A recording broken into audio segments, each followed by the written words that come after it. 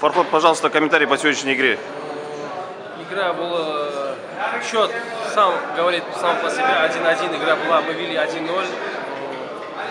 Болельщики были хорошие. И команда Казахстана готовая. Очень физически, тактически. Пятером хорошо отрабатывает. Все ожидали, что пятером хорошо будут играть. И мы тоже были готовы на эту игру, что пятером.